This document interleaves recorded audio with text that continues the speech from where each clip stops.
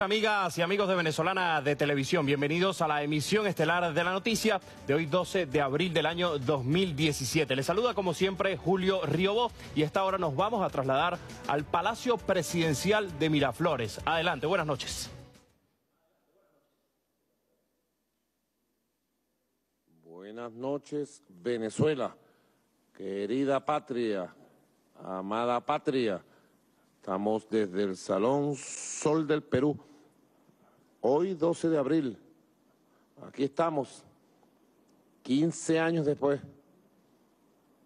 aquí en el Palacio Presidencial del Pueblo.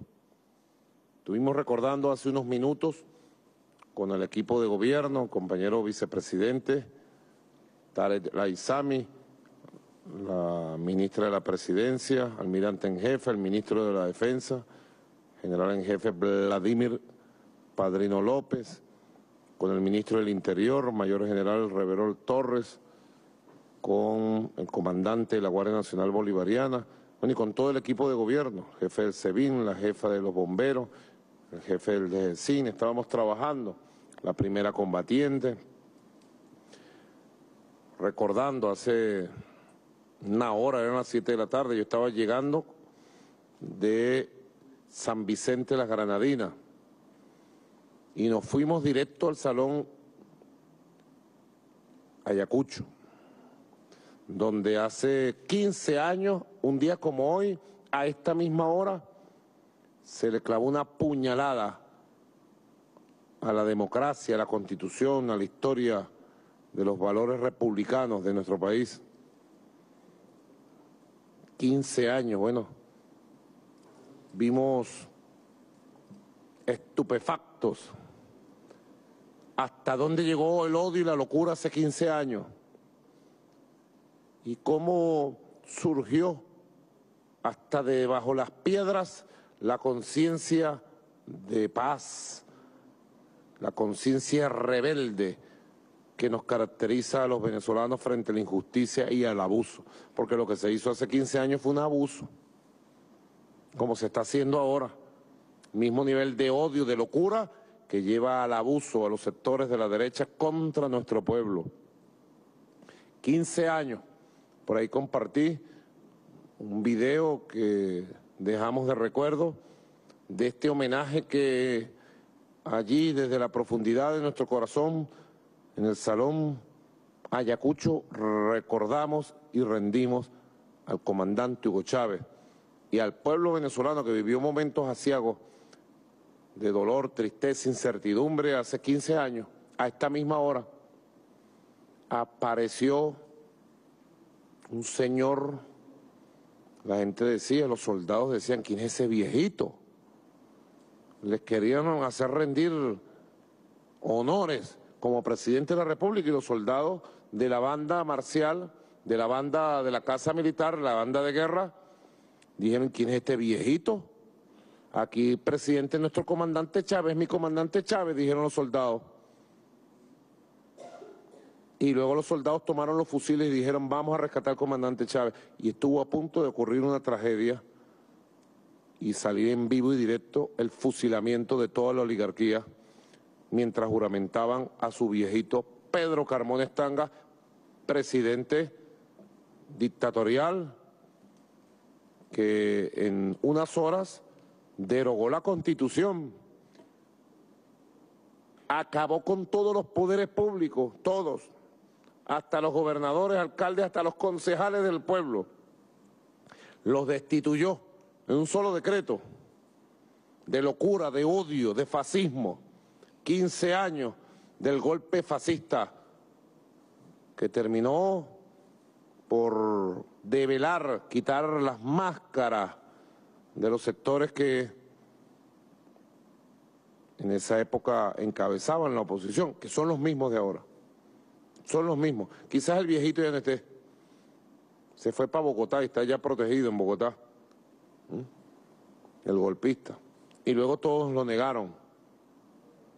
Y luego le escribió un libro por allí, que no tiene pérdida el libro confesando cómo se preparó el golpe de Estado contra el comandante Chávez desde el propio año 2001 y todo lo que hicieron, violencia callejera, Y como lo vieron ustedes ayer en el documental del cineasta venezolano Ángel Palacio que pasamos en cadena nacional, muy recomendable, claves de una masacre, Puente Yaguno, claves de un golpe de Estado, cómo prepararon la masacre de la avenida Baral con francotiradores para matar a su propia gente que venía en marcha ilegal y violenta sobre Caracas, sobre el centro de Caracas. El objetivo de ellos es asaltar el Palacio de Miraflores. Son los mismos, sus objetivos siguen siendo los mismos. Y puedo decir, también es el mismo pueblo que los ha enfrentado y los ha derrotado. 12 de abril.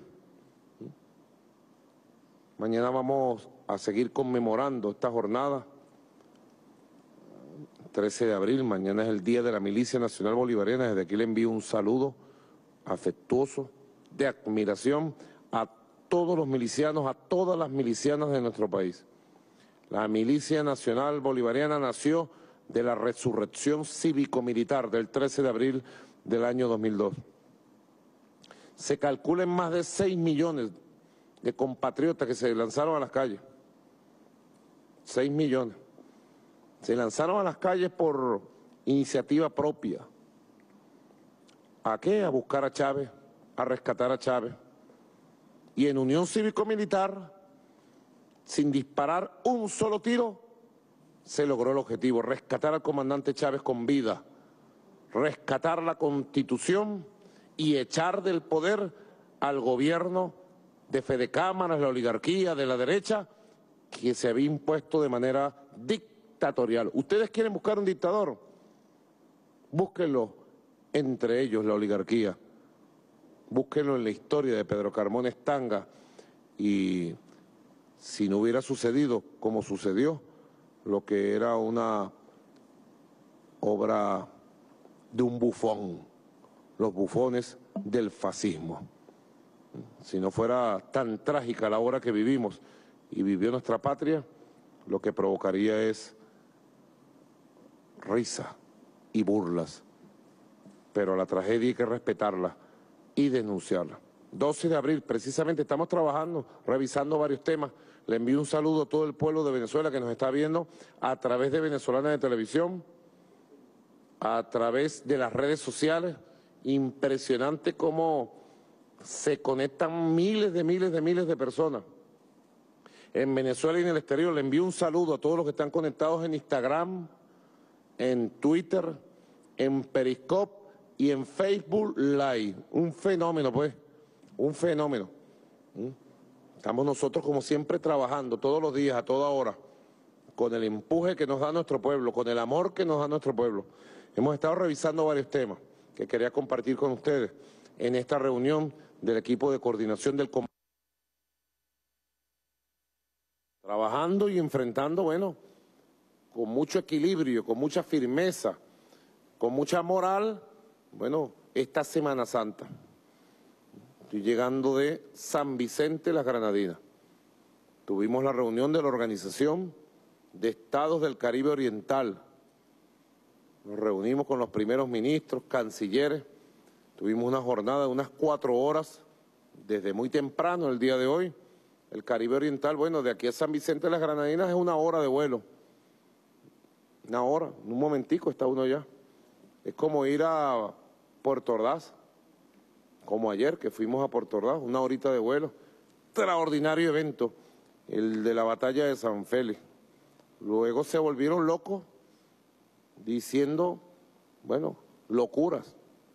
Habían preparado una emboscada y el pueblo se encargó de deshacerla. Quiero agradecerle al pueblo de San Félix las expresiones gigantescas de fervor, de pasión, de amor y de apoyo que ayer recibimos en San Félix. Ahí quedó pues, 200 años.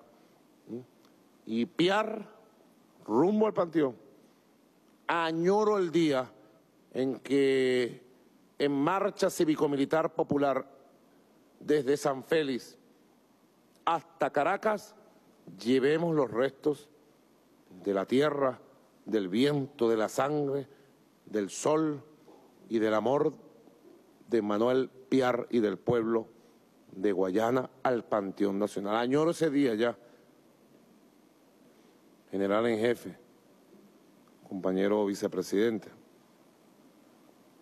porque sin lugar a duda, lo decía ayer, Manuel Piar representó en la historia un momento estelar de la lucha por la igualdad, contra la discriminación, contra la explotación, contra el esclavismo, contra el colonialismo. Una hora difícil, dolorosa, aquella en que lamentablemente vio enfrentado al general Manuel Piar con el mando del ejército libertador, del ejército republicano, con el libertador Simón Bolívar. Tengo la certeza total de que los dos representaban lo mismo. Bolívar ya había entendido desde Haití, desde la Carta de Jamaica, la necesidad de la igualdad social, de la superación de las barreras de castas, de raza, de la superación del esclavismo. Ya había él emitido el decreto de liberación de los esclavos. Bolívar entendía que el pueblo tenía que ir marchando con dos categorías claves en el proyecto bolivariano, la libertad y la igualdad para fundar una república para todos, una república de iguales. Pero Bolívar tenía la gran tarea de desplegar la gran estrategia que dio resultado para enfrentar, golpear y derrotar al ejército del imperio español y al imperio español como un todo. Y Piar, lo siento así, después de las grandes victorias, enfrentando décadas de exclusión, de desprecio, estoy seguro que sintió que era la hora de la igualdad. Y todavía la campana no había sonado. Por eso yo dije ayer que cuando decimos independencia, hoy en el siglo XXI, independencia y patria socialista, estamos diciendo independencia, libertad e igualdad. Estamos diciendo independencia política e igualdad social. Y cuando decimos independencia política, decimos Bolívar. Y cuando decimos igualdad social, estamos diciendo Piar.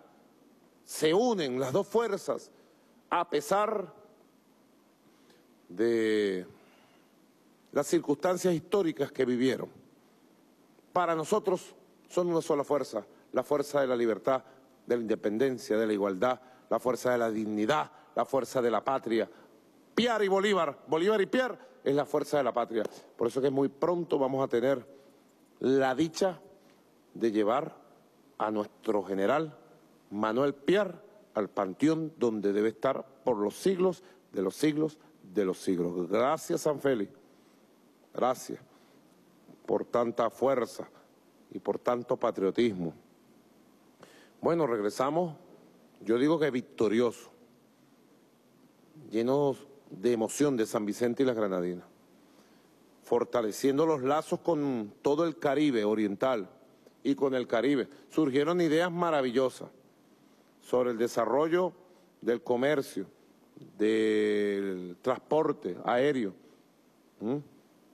encargado a la ministra almirante en jefa Carmen Teresa Meléndez Rivas del tema del transporte aéreo y marítimo con Conviasa y con toda la capacidad que tenemos para incrementar no solamente el movimiento de compatriotas, de personas, turismo, sino además el comercio, el comercio, una gran zona de comercio con todo el Caribe y el Caribe Oriental de manera específica. Hemos hablado de los temas de la seguridad, de la lucha contra el narcotráfico. Le conté tremenda lucha que tenemos, nuestra aviación militar bolivariana, nuestra gloriosa aviación militar bolivariana, y nuestra Fuerza Armada contra el narcotráfico, las naves que se meten por aquí, las naves que se meten por allá, las más de 120 aeronaves que han sido inutilizadas y derribadas por la acción de los guardianes de nuestro cielo, la aviación militar bolivariana. Estuvimos hablando de todo eso y de otros muchos temas, sobre la cooperación financiera, fiscal, energética, comercial, turística, de seguridad, y sobre la confianza y el diálogo político. Hay buenas iniciativas que seguramente ellos anunciarán en los próximos días. Bueno, hemos estado revisando, queridos compatriotas que me escuchan, son las 8 y 22 minutos, ¿verdad? 8 y 22 minutos de la noche del 12 de abril. Ya a esta hora el pueblo estaba despertando. Ya la gente en los barrios estaba activada en las comunidades. Chávez se lo había dicho a la derecha. No se metan conmigo porque aquí no es Chávez, es un pueblo. Y ellos creyeron que montando su guion de golpe de Estado, secuestrando al comandante Chávez, el pueblo iba a dejar solo a Chávez y la Fuerza Armada lo iba a traicionar. Jamás. Más bien nació un espíritu maravilloso de unión cívico-militar único en la historia de Venezuela. 12 de abril, ya en la noche. La gente cuando vio el viejito este, como decía el soldado, juramentarse. Una cosa, mira, vulgar. ¿Mm? El hombre dijo, ya, porque sí, yo, Pedro Carmón Estanga, ¿Mm? juro ser presidente de la República, pero ¿quién lo eligió usted, señor? ¿Ah? Más o menos como pasó en Brasil, con Michel Temer. ¿Quién lo eligió? Nadie. Se parece hasta físicamente. Busquen la foto de Michel Temer y Pedro Carmón Estanga, parece como que vienen del mismo planeta, el planeta de los fascistas, de los perversos, de los golpistas. ¿Mm? Ya a esta hora la gente estaba despertando. Y el amanecer del 13 de abril vio un pueblo en las calles caminando, caminando, con un solo rumbo, rescatar a Chávez, rescatar la Constitución, rescatar el poder político para el pueblo. 15 años y aquí estamos, como digo, mandando, aquí estamos, mandando con nuestro pueblo. Hemos estado revisando algunos datos importantes, algunos temas importantes, para que tomen nota todos los que nos escuchan. En primer lugar, la Semana Santa. La Semana Santa. Bueno, la Semana Santa hemos estado en el operativo nacional sin descuidar un detalle Quiero agradecer a la Fuerza Armada Nacional Bolivariana, en especial a la Guardia Nacional Bolivariana, a la Policía Nacional, a los bomberos, a Defensa Civil, a los voluntarios. Se han desplegado más de 199 mil, vamos a redondearlo, 200 mil hombres y mujeres de las instituciones del Estado venezolano para garantizarles a ustedes su movilidad, su transporte, su seguridad en ciudades, pueblos, campos, playas, ríos, montañas, selva, la patria entera pues movilizada. A la hora esta que estamos hablando, 7 y 25, perdón, 8 y 25 de la noche, se han movilizado más de 6 millones 300 mil venezolanos, muy por encima de las cifras de el miércoles santo del año 2016, de hace un año. Ya la gente está en playas, en casas de sus familias, en las montañas, en los campos, visitando monumentos e iglesias, parques nacionales, nuestro pueblo, pues. El gran pueblo venezolano, pues el que cree en la paz, el que cree en la familia, el que cree en la felicidad, movilizado. Y nosotros prestándole todo el apoyo. Agradezco la colaboración. A esta hora ha disminuido en un 44% los accidentes de tránsito. Así debemos continuar, cuidando a nuestra familia, cuidándonos, por favor, cuidándonos en todo el territorio nacional. Yo cuando venía subiendo de la Guaira ahorita, por ahí pasó un carro, no sé si tú lo viste, en iba como loco. No, no, no, poco a poco, ¿vale? Me pasó por al frente, pero si yo doy un poquitico adelante el carro, porque yo manejo, me lleva por el medio. Pues no respetan los semáforos, a veces andan como acelerados. ¿Mm? Hay que controlar todo eso. Después en el túnel subiendo se cayó un motorizado también, porque venía haciendo piruetas dentro del túnel. afortunadamente no le pasó nada, lo ayudamos, lo levantamos. Hay que cuidarse. ¿Mm? Buen dato, 44% de reducción a esta hora, a este día.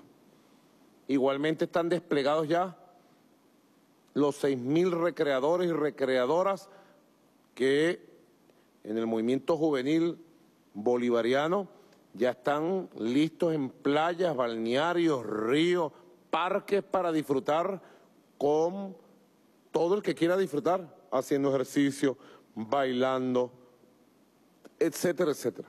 Así que la Semana Santa venezolana va viento en popa, compartiendo la familia. Hemos estado, bueno, se hicieron las reparaciones debidas del sistema de aguas, eh, agua de consumo humano. Quiero felicitar al ministro de Ecosocialismo y Agua, lo hizo en tiempo récord, pensábamos que lo íbamos a hacer durante toda la Semana Santa, no ya se restituyeron los servicios en varias ciudades del país, seguimos trabajando en función de atender todo el servicio. Igualmente, hemos estado enfrentando la violencia terrorista. Estamos comentando entre nosotros. Una cosa única. Nuestra generación ha vivido de todo. Diciembre de 2002, enero, febrero, marzo 2003, creíamos que lo habíamos visto todo. En diciembre de 2002, el mismo grupo este de cabecillas de la derecha golpista, en pleno apogeo del gobierno de George W. Bush, le prohibió a los venezolanos la Navidad y sabotearon la Navidad. Ustedes no se acuerdan, los más pequeños o los más jóvenes, pero todos los demás sí nos acordamos. Le quitaron el béisbol, le quitaron, le sabotearon la gasolina, todo, todo. Buscando amargar a nuestro pueblo, quitarle su derecho al esparcimiento, a la tranquilidad, al compartir de Navidad. Si nosotros traemos esa costumbre de nuestras tradiciones religiosas, familiares. Diciembre es mes de gaita, de villancico, de cantos, de baile de intercambio de regalos, del amigo secreto, de, de las hallacas, de rumba. Mucha gente, bueno, cuando nosotros no estábamos en tan altas responsabilidades del 3 de diciembre, uno paraba hasta el 6 de enero. Mm, todos los días estaba aquí, allá, ¿verdad, Silvia? Rumbeando aquí, rumbeando allá. Ah, no, ellos decidieron acabar con la Navidad en Venezuela y no pudieron, porque el pueblo venezolano salió a batallar, a luchar en las calles, a defender la constitución, la revolución, pero también a disfrutar sus navidades, a compartir en familia, a elevar una oración al niño Dios, y quedó como gran experiencia. Y desde esa hora loca, extremista, la oposición entonces empezó a hundirse, hundirse, hundirse, y luego aparecieron gente como el señor Borges, a pedir perdón porque ellos se habían equivocado por la violencia del 2002-2003. Hipócrita fariseo, así te digo, hipócrita y fariseo, tú mismo no te crees. Ni perdón, ni olvido. Ahora estaba aconteciendo algo parecido. Nuestra patria iniciamos un buen primer trimestre el mejor primer trimestre de los últimos cuatro años. La recuperación social, económica, financiera, crecimiento de los CLAP. Y ellos planificaron desde el exterior una emboscada para cortar, para sabotear y para golpear la recuperación integral que nuestro país está experimentando y quiere seguir experimentando, porque los venezolanos queremos la recuperación integral de la economía, de la sociedad. ¿Qué queremos? Paz, bienestar, felicidad. Y desde el norte dieron una orden, activar el odio, activar la locura, activar la violencia, que ha caído en el vacío y que tiene el repudio general de toda la sociedad, de todo nuestro pueblo, de la gente consciente, patriota, de nuestro país. Pero no solo que activaron la locura, unas minorías llenas de odio y fracaso, porque han fracasado. Ganaron la Asamblea Nacional y fracasaron y hundieron la Asamblea Nacional. una minoría llena de ambiciones personales, personalistas, grupalistas. No solo se trata de que esa minoría lanzó una emboscada, sino que ha ocurrido algo que no habíamos visto, nosotros no lo habíamos visto.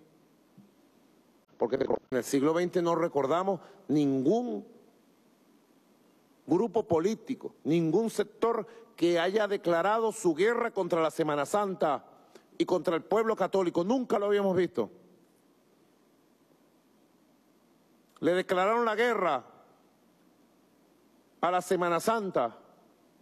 Por eso yo los, he llamado, como hay que llamarlo, los anticristos. Son el anticristo, esta derecha golpista llena de odio.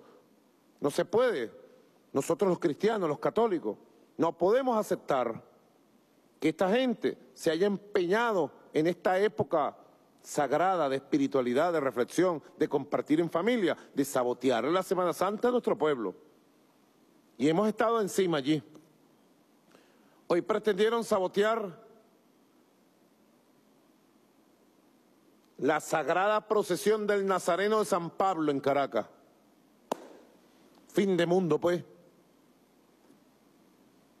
Eso nunca se había visto.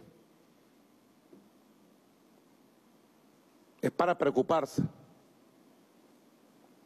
¿Qué tiene esta gente en mente contra nuestro país? Que son capaces de plantearse, sabotear una de las tradiciones más sagradas que durante siglos ha cultivado el pueblo de Caracas y de Venezuela y de América Latina, porque viene mucha gente a rendirle su agradecimiento, a rendir su promesa y a pedirle a nuestro milagroso Nazareno de San Pablo sus favores. Yo recorrí, cuando vine ahora, recorrí parte de Caracas y vi a decenas, a cientos de personas de todas las edades, vestidas de Nazareno. Desde temprano por televisión vi gente que vino a pie, de rodillas, unos compatriotas con alguna discapacidad que iban en sus sillas de ruedas, con mucha gente agradecida que iba a agradecer al Nazareno de San Pablo, favores que se le han dado en salud, en vivienda. Eso es sagrado. Nosotros lo hemos tratado siempre como sagrado. Y hoy desplegamos fuerza policial y fuerza militar para proteger a nuestro pueblo en su procesión y para protegerlo en su culto de amor y de fe por nuestro Nazareno de San Pablo.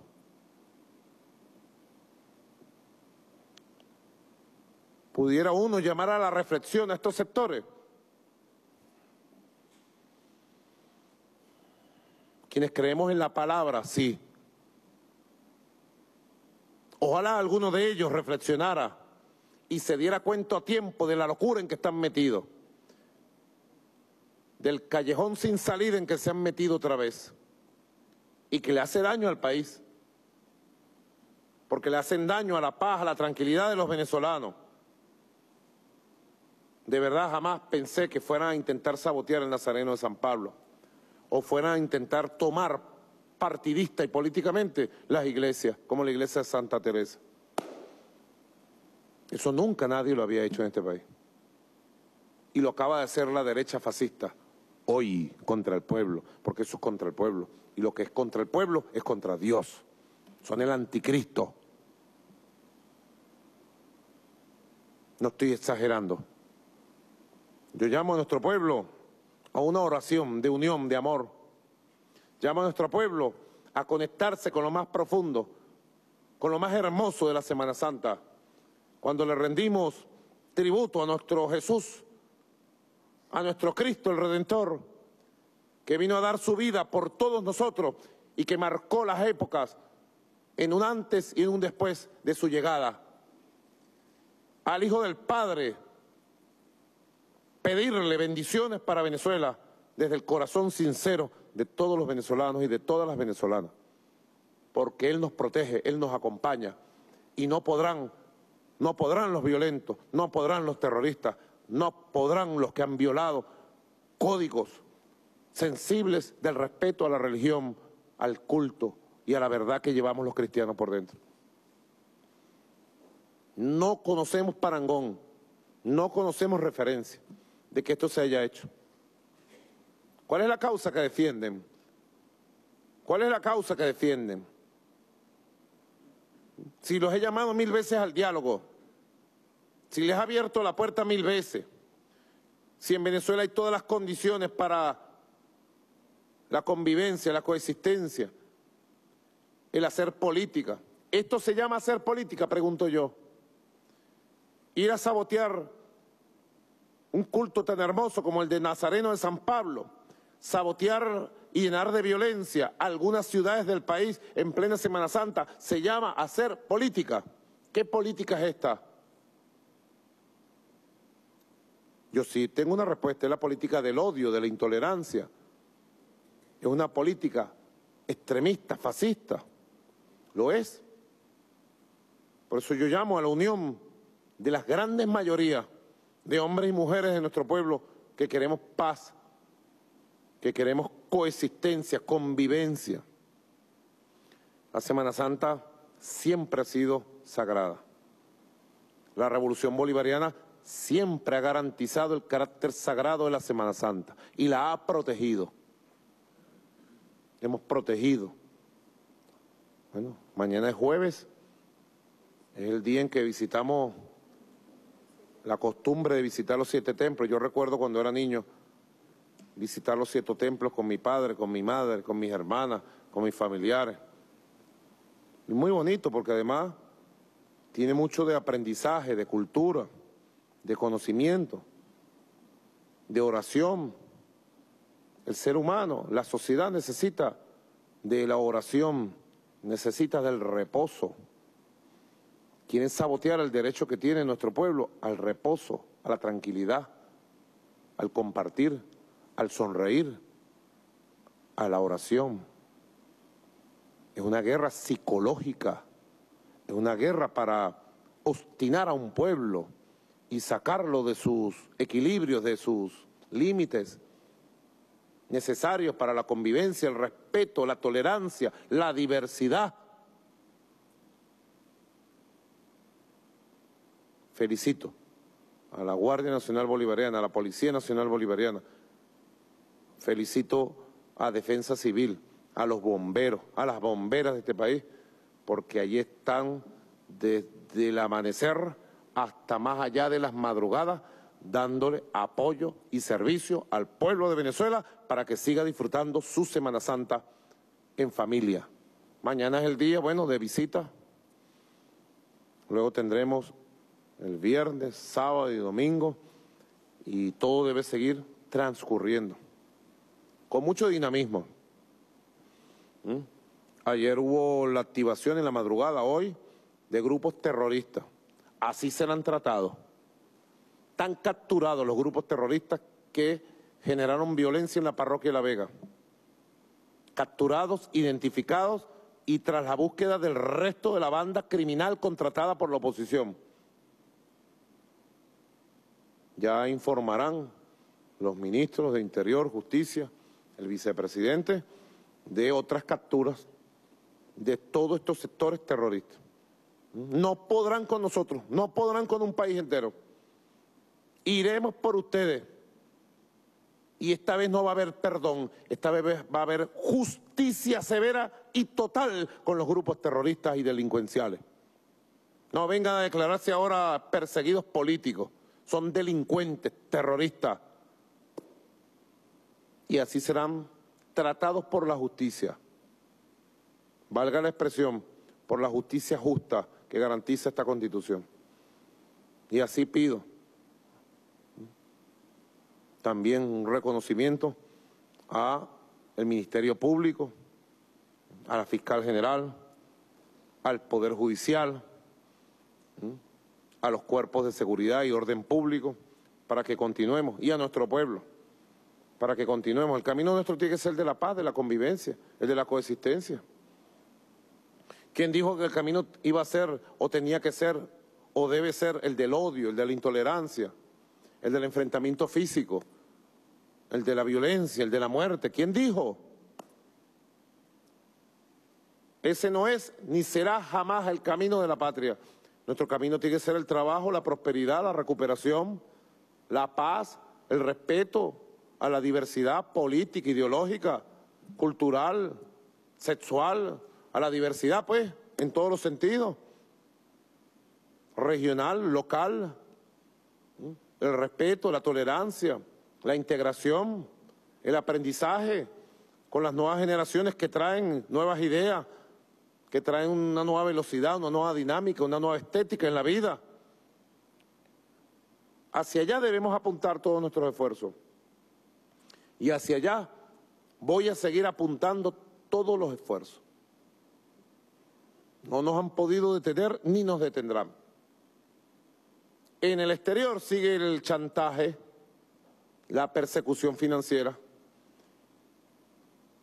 Como le decía hoy a los primeros ministros del Caribe, a pesar de la persecución financiera, a pesar de toda la maldad que intentan hacernos, Venezuela hoy cumplió una vez más con los pagos de sus compromisos internacionales y hemos pagado hoy, nada más hoy, 2.552 millones de dólares de compromisos de deuda, bonos, interés.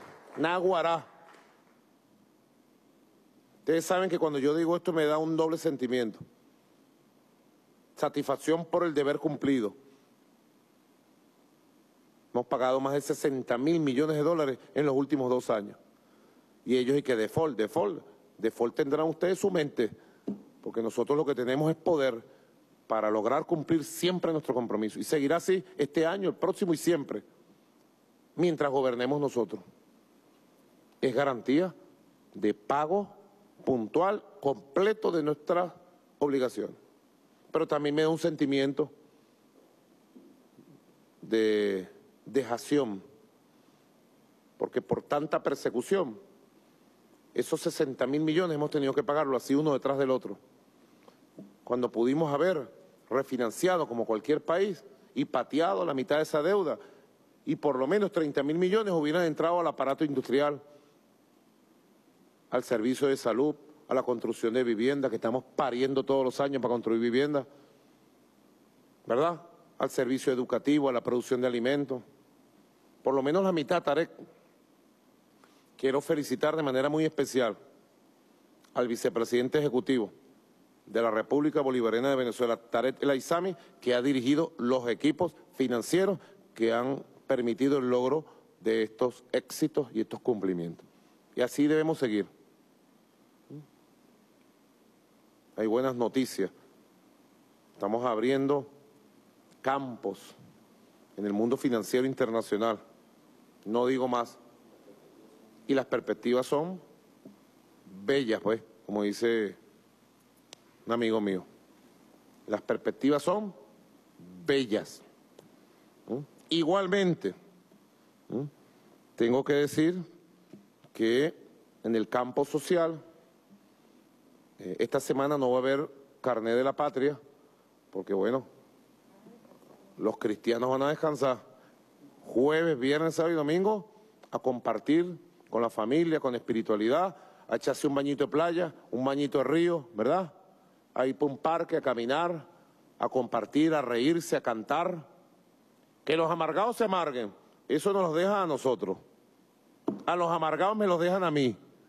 Ustedes a vivir, a ser felices, a compartir en familia. Entonces el carnet de la patria se retoma la próxima semana. Sería jueves 20 de abril, viernes 21 de abril y sábado y domingo 22 y 23. Ahora, ¿ustedes saben a cuántos carnets de la patria hemos llegado este domingo? Al cierre del domingo. Anoten ahí para que sea el titular mañana y sea la tendencia de Twitter que va a poner el bobo hijo de Rabel hoy. Bobolongo, anota ahí. 10 millones 553 mil 76 carnes de la patria. 10 millones 553 mil 76. Esto no es poca cosa, compañeros militares, civiles, hombres y mujeres, compatriotas que me escuchan. 10 millones 553 mil 76 voluntades, expresiones de fe, de confianza, que saben que estamos construyendo algo nuevo, algo mejor, algo superior a lo que ya tenemos, y que vamos a avanzar en el sistema de atención de misiones y grandes misiones para atender a toda la familia, a la mujer, a la familia, hogares de la patria, a la vivienda, a las pensiones, al trabajo, al crédito, a la educación, a la cultura, a la salud, barrio adentro. Es un milagro. El carnet de la patria es una revolución dentro de la revolución. Naguará, pues, 10 millones 553 mil 76 compatriotas. Lo que le queda a uno es darle las gracias a ustedes, compatriotas, que con tantas campañas, tantas mentiras, tanta violencia, han dado esa demostración de fe en este humilde obrero que es presidente de la República y que los llamó a ustedes a incorporarse al sistema de carnet de la patria. Este humilde obrero que está aquí les da las gracias y tengan la seguridad que cada día que pase vamos a estar y voy a estar cada vez más restiado con la felicidad del pueblo, con el futuro de Venezuela. Tengan la seguridad absoluta.